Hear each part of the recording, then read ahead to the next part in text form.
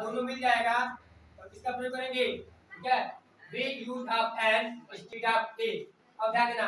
अब ध्यान देना, दो मान देते हैं। यहाँ पे क्या है? U M B R E double क्या यहाँ लिखा है यूनिवर्सिटी यूनिवर्सिटी लिखा है ना? यहाँ दो लिखा है।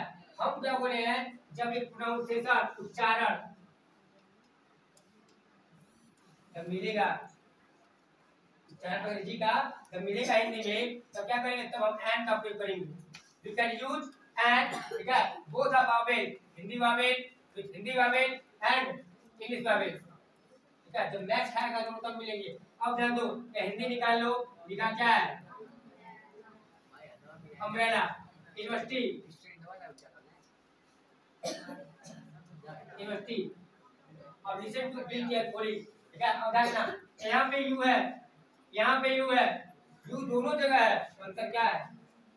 यू क्या है? यू दोनों जगह है। तो अंतर क्या है? हमने बोला कि हिंदिया और अंग्रेज़ी दोनों मिलनी चाहिए।